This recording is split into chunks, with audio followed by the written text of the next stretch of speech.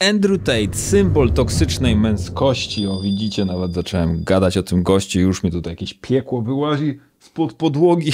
Czyli symbol toksycznej męskości, przez jednych czczony, przez innych znienawidzony. Ja trafiając na jego gębę i słuchając to, co z tej gęby się wydobywa, raz na jakiś czas w necie. Car, what about this, this, this? I was like, look, I bought it because it's pretty. I find myself super funny. You're wrong. Only a cat owning bitch would complain to the police about a fucking joke. Fuck is wrong with you? Zdecydowanie zaliczałem się do tej drugiej grupy. Do czasu, kiedy Kacper nie podesłał mi bardzo ciekawy podcast z jego udziałem. Aż wstyd się przyznać, ale chyba zmieniłem zdanie na temat tego gościa. I w dzisiejszym materiale opowiem Wam dlaczego, a także czego możemy się od niego nauczyć, bo nie jest tego wcale tak mało. Uskrzydlony pozytywnym odbiorem poprzedniego odcinka z serii Man Cave, czyli serii przeznaczonej do kultywowania swojej męskiej energii, postanowiłem nagrać kolejny odcinek na bazie podcastu, który słyszałem z Andrewem Tate'em. Oczywiście, który umieszczam w opisie, jeśli by ktoś chciał posłuchać całość. Ale na początku odpowiedzmy dla wszystkich tych, którzy nie wiedzą, kim jest Andrew Tate, tak w pigułce czerwonej pigułce.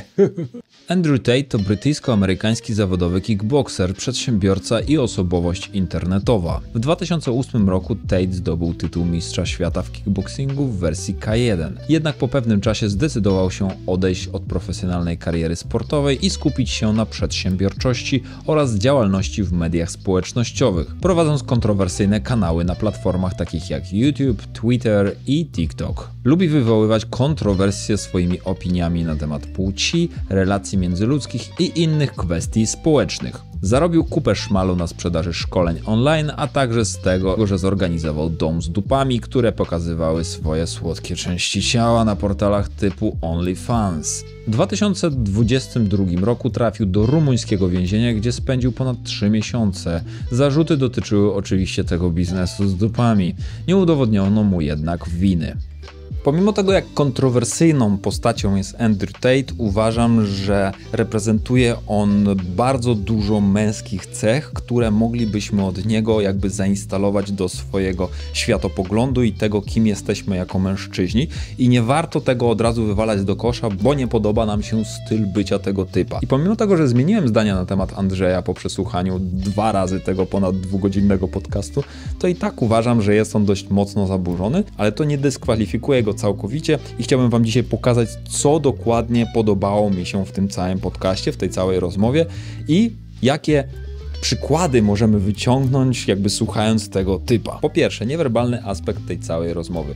Gdy patrzymy na Andrewa, widzimy, że jest on wyprostowany, jest on rozluźniony, czuje się bardzo pewnie, czuje się bardzo silnie, jakby gestykuluje rękami, jak mówi, jakby y, jest cały czas wyprostowany, oparty. Jego mowa ciała mówi, że kurde, jestem alfa. I to jest bardzo, ale to bardzo ważne w kontaktach z innymi ludźmi. I w czasach, kiedy czytałem książki i mocno interesowałem się tematem podrywu, no to był numer jeden, czyli jeśli wchodzisz do jakiegoś pomieszczenia, no to musisz się czuć, jakbyś był władcą tego pomieszczenia. To jest dobre ćwiczenie dla każdego gościa, gdyż no jak cię widzą na początku, no to tak będą jakby cię pozycjonować w tej całej strukturze społecznej. Czyli takie klasyczne pierwsze wrażenie. Jeśli się garbisz, jeśli nie gestykulujesz rękami, jak mówisz, no to to jest coś, co możesz już wypracować w sobie i wrzucić w nawyk, że jak gdzieś wchodzisz, to po prostu prostujesz się, starasz się być większy niż jesteś w rzeczywistości.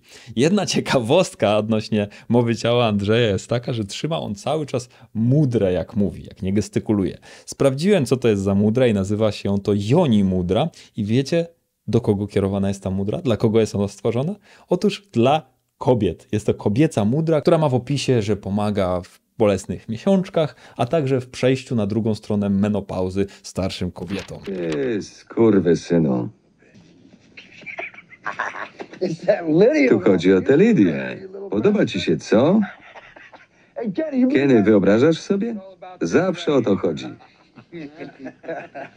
Kolejna rzecz, na którą ja zwróciłem, a także no, terapeuta David, który z nim rozmawiał, to że Andrew jest krasomówcą, jest niezwykle dobrym oratorem, potrafi przemawiać i to jakby jest nie lada umiejętność. Andrew nie zaprzeczył, powiedział, że to jest dla niego bardzo ważny skill, gdyż zależy mu na tym, żeby inni dokładnie zrozumieli to, o czym on myśli, a idąc krok dalej, chce, żeby inni zaczęli myśleć tak, jak on myśli. I nawet w dalszej części rozmowy powiedział on, że nie chce on się, broń Boży, uczyć żadnego innego języka, gdyż nie wyobraża siebie dukającego na przykład po hiszpańsku.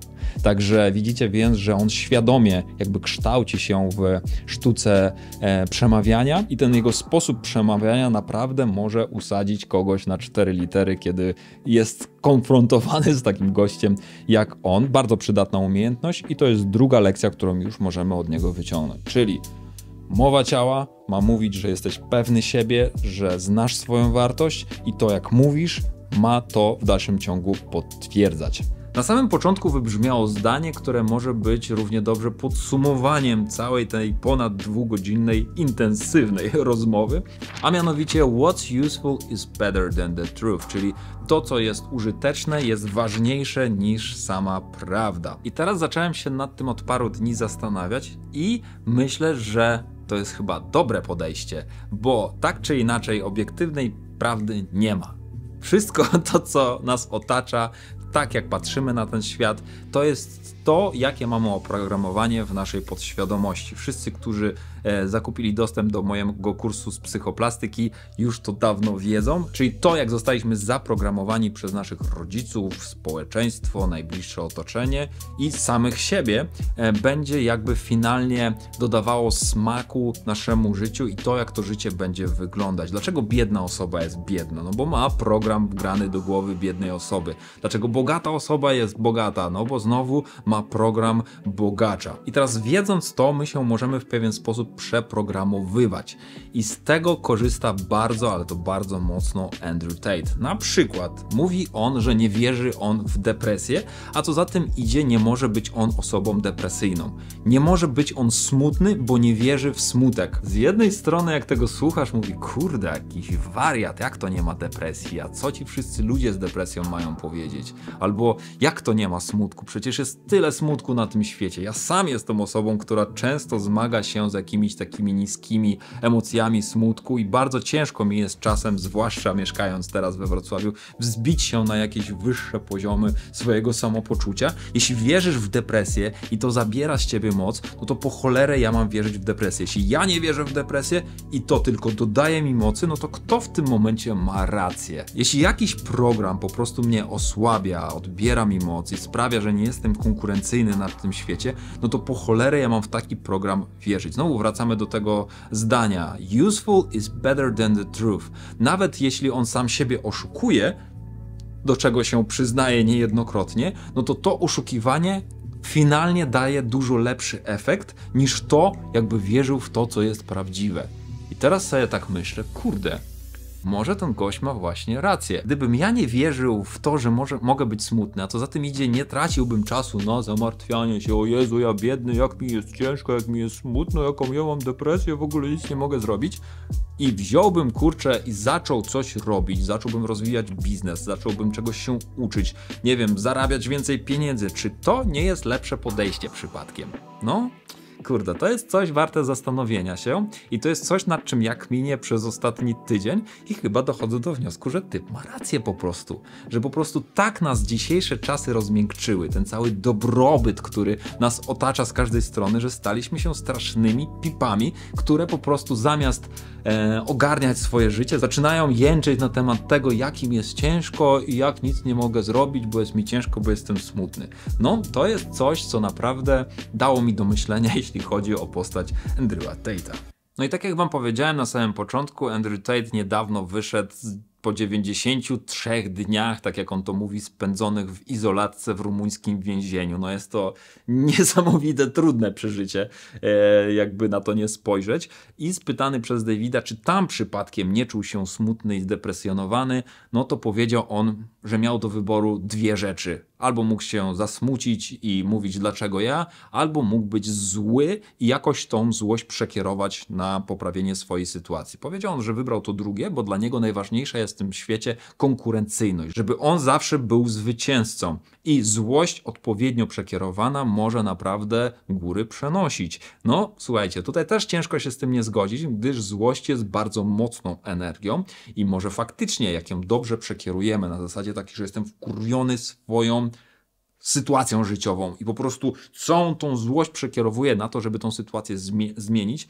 zapierdalam na dwa etaty, po prostu szukam rozwiązań swojego problemu, no to jestem w stanie w to uwierzyć, że prędzej czy później, a raczej prędzej znajdę odpowiedź na swoje problemy i je rozwiążę a w przypadku, kiedy jestem smutny i mam depresję, no to to się nie stanie, tak? Czyli znowu widzimy ten jego żelazny mindset, że nieważne co się dzieje, ja ogarnę, ja załatwię i ja będę w tym wszystkim najbardziej twardy, jak się tylko da. Co nie znaczy, że ten pobyt w więzieniu nie odbił się w negatywny sposób na jego psychice, gdyż tak jak sam powiedział, że od wyjścia z więzienia ma po prostu teraz koszmary i się nie wysypia.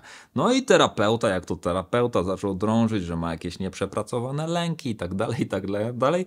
Andrew po prostu znowu uciął to w moment, powiedział nie, to jest to, czego mam doświadczyć. Jeśli mam koszmary i ktoś by mi powiedział, że dałby mi tabletkę, dzięki której te koszmary by odeszły, no to on by tej tabletki nie wziął. Dlaczego? Bo te koszmary są po to, żeby go czegoś nauczyć i odejdą w tym momencie, kiedy on się tego nauczy, kiedy jego umysł sam to ogarnie i nie potrzebując zupełnie żadnej pomocy. Jeśli ma mieć koszmary do końca życia, no to najwidoczniej tak chce Bóg, żeby on miał te koszmary do końca życia, gdyż teraz to jest jego droga. I powiedział on, że nawet, że on lubi, że ma jakieś nieprzepracowane lęki, których jeszcze nie zna, gdyż jego życie teraz wyjechało na level hard. Czyli jak ktoś go wrzucił do strasznego, mrocznego lasu, gdzie są wilcy i wampirzy, on się ich boi, ale dzięki temu on znajdzie metodę na to, żeby to wszystko utłuc, wyjść z tego lasu jako silniejsza osoba. No i znów taki światopogląd bardzo solidny z perspektywy męskiej energii.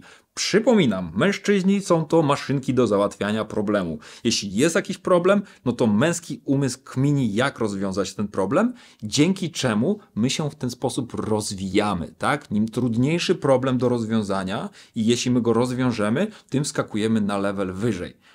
To jest droga męskiego świata, to jest droga męskiej energii, męskiego światopoglądu. I to jest taka różnica pomiędzy kobietami i mężczyznami. Na przykład w rozmowie z kobietą, która przychodzi, ci się tam żali, płacze, jak tam ciężko i tak dalej, no to facet od razu chce rozwiązać ten problem. Mówi, musi zrobić to, to, to, to, to i tamto i dlatego później będzie to, to, to, to, to i tamto. I kobieta często jest zła, ty w ogóle jesteś nieczuły na moje emocje i wrażliwy i później facet jest skołowany, what the fuck, co ja źle zrobiłem. Otóż to, że często w rozmowach z kobietami nie chodzi o rozwiązywanie ich problemów, tylko o wysłuchanie, zrozumienie. I jeśli faktycznie kobieta wymaga od ciebie, albo chce od ciebie, żebyś jej problem rozwiązał, to dopiero wtedy ruszyć do rozwiązywania problemów, tak? Czyli męska energia, męski światopogląd męskimi światopoglądami, ale trzeba też zachować jakiś balans i umieć też e, nawiązać kontakt ze swoimi emocjami, żeby wywołać sobie tą empatię. Z tego co ja zauważyłem, empatii w, e, w Andrzeju nie ma. Sam on to przyznał, że nie lubi on, jak ktoś mu się płacze. Jak ktoś mu przychodzi i jęczy, to on powiedział, że on mówi cicho, cicho, cicho, zamknij się, tak, masz to rozwiązać, a jak nie chcesz tego rozwiązywać, to spadaj, nie? to jest właśnie to jego takie przegięcie już za, za duże w stronę tej męskości i w aż tak daleką stronę bym nie chciał iść. Niemniej jednak taka żelazna logika tego, że co mnie nie zabije, to mnie wzmocni i ja nikomu nie pozwolę rozwiązać za mnie moich problemów, bo to są moje problemy, to są moje lekcje i to ja jestem tutaj w tym miejscu na tym świecie, żeby te problemy rozwiązać, bo dzięki temu ja będę ewoluował. Słuchajcie, zanim przejdziemy do dalszej części odcinka, to bardzo bym Was chciał prosić o pozostawienie lajka. Was to nic nie kosztuje, mi to naprawdę bardzo mocno pomaga, jeśli chodzi o walkę z algorytmem, także dziękuję serdecznie i lecimy dalej. Dobra, nie wierzy on w depresję, w smutek, ale nie lubi on też być szczęśliwym. Powiedział, że życie jest trudne, jest ciężkie, jest bolesne i nim szybciej to zaakceptujesz, tym lepiej będziesz sobie w tym życiu radził i będziesz bardziej konkurencyjny. I powiedział on bardzo fajne zdanie. The flavor of life is pain, and I will eat all of it. Czyli życie ma smak bólu i ja zjem całe to życie. No i to jest taki mindset wojownika. Przypominam, że trenował on kickboxing na bardzo wysokim poziomie. No i prawdą jest, że ilość stresu, który jesteś w stanie na klatę przyjąć, a przypominam, że to jest też jakby aspekt męskiej energii, odporność na stres i zaradność pod wpływem stresu, no jest prost proporcjonalne do tego, jaki będziesz miał potencjał do osiągnięcia sukcesu. Nie chciałbym tego odcinka też przeciągnąć w nieskończoność, bo w tym podcaście było bardzo dużo jeszcze elementów, które chciałbym z Wami poruszyć, ale to może są takie najważniejsze, to żeby po prostu nie być pipą w życiu i żeby nauczyć się przyjmować na klatę z dużą wdzięcznością wszystkie problemy, które nas w życiu spotykają i specjalnie się nie rozwodzić nad tym, jak się w danym momencie czujesz, tylko po prostu brać i robić, czy ci się chce, czy ci się nie chce. To jest właśnie dyscyplina. Dyscyplina to jest coś, co odróżnia ludzi sukcesu od ludzi, którzy nic nie osiągają w życiu albo osiągają mało. No i teraz, żeby ten Andrew Tate taki święty, wspaniały i godny naśladowania nie był, no to po dwóch godzinach, po półtorej godzinie w końcu temu terapeucie, który próbował niesamowicie go z każdej strony dziabnąć, ale ten Andrew Tate po prostu robił jak jakiś ninja warrior. Odbijał piłeczki za każdym razem, ale przyszedł czas na pytanie odnośnie obecności. David, ten terapeuta, powiedział, że obecność w danej chwili, w tu i teraz, jest największą mocą, jaką jest w stanie człowiek e, jakby reprezentować, tak? Umiejętność wyłączenia umysłu i bycie w tu i teraz jest niezwykle wartościową rzeczą, która wprowadza cię na zupełnie inny level. Ja to potwierdzam, jakby praktyka medytacji też właśnie ma to na celu, żebyś był coraz bardziej świadomą e, istotą. I Andrew Tate przyznał, że on nie jest świadomy. Że jedyny moment, kiedy jest tu i teraz obecny, jest świadomy, kiedy walczy, tak? Kiedy jest na ringu i to jest właśnie ten taki flow state, kiedy nie myślisz, a rzeczy się dzieją, kiedy nie myślisz, że tylko doświadczasz, tak? I jesteś w tym tu i teraz, nieważne co by się działo. No i przyznał Andrew, że takiej mocy nie posiada, ale znowu zracjonalizował to, bo on jest mistrzem racjonalizacji i do tego się też zresztą przyznaje. Powiedział, że on nie ma czasu na obecność, że to jest jego ofiara za to, jaki styl życia prowadzi, ile pieniędzy zarabia, ile ludzi utrzymuje, to, że jest jakby na czele swojej paczki, jest jednym z większych alfa maili na tej planecie. Tak? On jest bardzo, można powiedzieć, aroganckim człowiekiem, e, ale znowu też powiedział, czym się różni arogancja od realnej oceny rzeczywistości, no tylko kompetencjami. Czyli jeśli on we wszystkim wygrywa, no to teraz pytanie, czy jest arogancki, tak? No ale to jest temat na, na może na inny odcinek. Andrew powiedział, że on nie ma czasu na bycie obecnym, on cały czas myśli, jego umysł jest cały czas zaprzęgnięty do roboty na rozwiązywanie problemów, na myślenie, co ma zrobić, kiedy ma zrobić, i on nie pozwala sobie na bycie obecnym. Dalej idąc, powiedział on, że nie cieszy on się chwilą. Że znowu to cieszenie się chwilą jest nieobecne w jego życiu. Ja sobie myślę, Boże, to musi być strasznie smutne życie. Dobra, wypracowałeś, bo gościu jest turbo jakiś bogaty, ma turbo dużo samochodów sportowych, jakby szasta, szasta kasą, żyje na bardzo wysokim poziomie, ale jeśli on się tym wszystkim nie cieszy, no to po cholerę coś takiego, tak? To jest coś, co mi się nie podobało i zdecydowanie tego bym nie chciał naśladować, gdyż moim zdaniem, nawet jeśli masz mało, ale jesteś w stanie się tym cieszyć, jesteś w stanie być tu i teraz ze swoimi bliskimi, przyjaciółmi, jakby doceniać e, to, na co zapracowałeś, no to o to chyba w tym życiu chodzi, tak? A nie ciągle napierdalać, napierdalać po prostu ile wlezie i osiągnąć nie wiadomo co i później kopnąć w kalendarz i co dalej. Moi mili, podsumowując ten odcinek, e, jakby w dalszym ciągu nie uważam, że chciałbym być w 100% jak Andrzej. Niemniej jednak mogę sobie tak jak przyprawę z niego wziąć, szczyptę tego posolić do swojego życia, szczyptę tamtego posolić do swojego życia, bo Reprezentuje on cechy alfa maila. Tego mu nie można odebrać. Ma on dużo jakby takich cech, które przydałyby się bardzo dużej ilości mężczyzn w dzisiejszym świecie. Jest on po prostu ma na maksa przegięty. Chyba jak wybierał swoją reinkarnację, to 100 punktów, które mu dał Bóg na wybranie różnych cech e, swojej reinkarnacji, 100 punktów przeznaczył na męską energię. To tak troszeczkę jakbyśmy chcieli upiec ciasto, bo mamy ochotę na coś słodkiego, no i ciasto w 100% składałoby się z cukru. No, Słodkie? Słodkie. No to o co chodzi? No i ja bym nie chciał jeść ciasta w 100% składającego się z cukru, dlatego też biorę od Andrewa łyżkę tego cukru i dodam do swojego ciasta, gdyż też przyda mi się troszeczkę może zmężnieć, przestać pierdolić, przestać skupiać się na negatywach w tym życiu i zacząć po prostu działać i może bardziej przyjmować te wszystkie problemy, które mi się przytrafiają na klatę bez takiego zbędnego jęczenia.